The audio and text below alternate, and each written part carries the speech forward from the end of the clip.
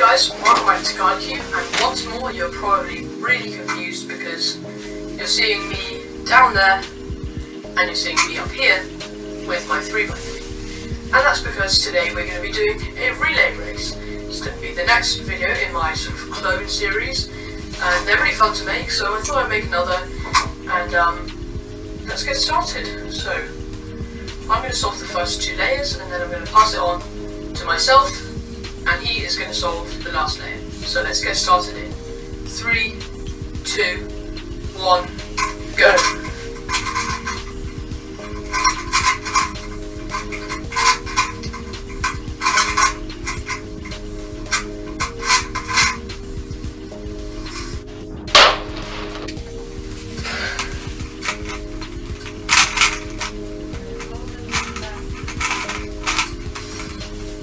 Done. Alright guys, that was fun. So goodbye. Goodbye guys.